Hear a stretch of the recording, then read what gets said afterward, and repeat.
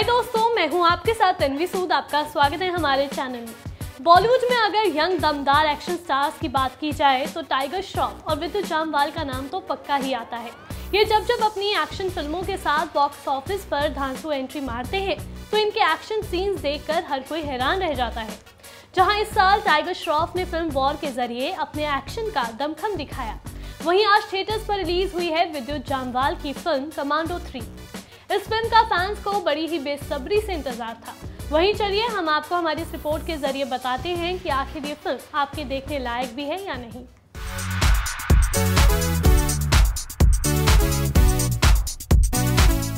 शुरुआत करते हैं फ़िल्म की कहानी से। फ़िल्म में खुंकार आतंकवादी बुराक अंसारी यानी कि गुलशन देविया भारत में 9-11 की तरह घटना को अंजाम देना चाहता है और एक कमांडो करणवीर यानी कि विद्युत जामवाल कैसे इस घटना को होने से रोकता है, बस यही पूरी फ़िल्म में दिखाया गया है। फ़िल्म में विद्युत जामवाल के अलावा अदा शर्मा ने इंस्पेक्टर भावना रेड्डी का रोल निभाया है।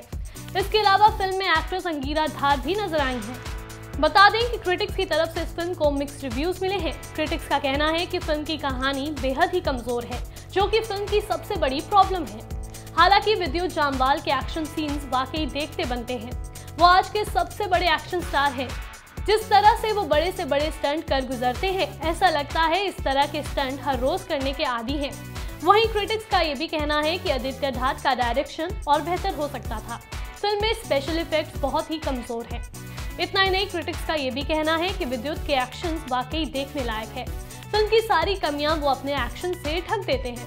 साथ ही अंगीरा और अदा के एक्शन भी तड़का लगाने का काम करते हैं।